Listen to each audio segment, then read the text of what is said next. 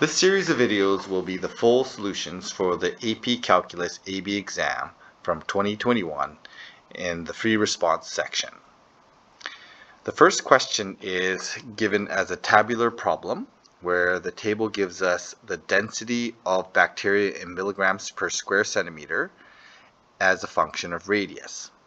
Okay, so in this case here, that at zero radius, the density is 1, at 1 radius centimeters, the density is 2, etc.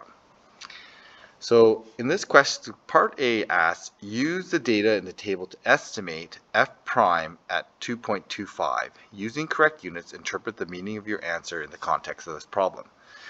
Okay, first of all, anytime we're asked to estimate a derivative and we're given the function in a table, we're just going to calculate the secant line or the average slope between 2 and 2.5.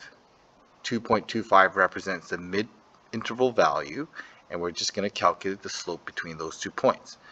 So it looks like this. So f prime at 2.25 is approximately equal to the secant line, which is f of 2 minus f of sorry f of 2.5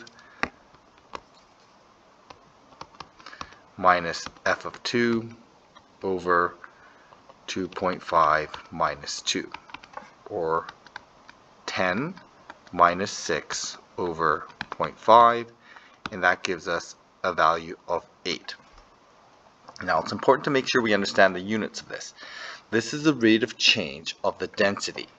So this is in terms of milligrams per centimeter squared per centimeter of radius. Okay, and maybe I'll just write that in per centimeter of radius. Okay, so this is the this the average slope between those two points, and it is the the density, the change in the density. Okay, so this is what it means in the context of this problem, and the correct unit should indicate that we understand the context of this problem.